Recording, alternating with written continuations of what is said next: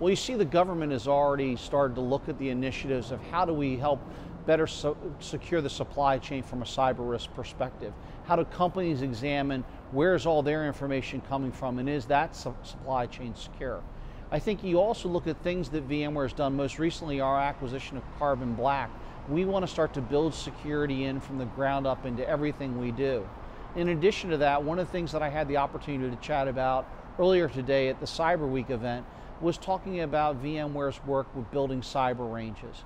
We have to give a process and a plan to allow agencies and companies to constantly be educating their workforce.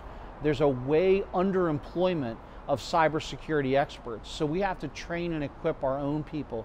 We have to build, we have to build processes, procedures, and templates so they can constantly be exercising their skills so that in the event of some type of cyber risk or cyber threat, people aren't pulling out manuals and books and trying to figure out what do I do next. It's got to all be muscle memory. And if we don't take that sort of approach, we're never going to combat this problem on a long-term perspective.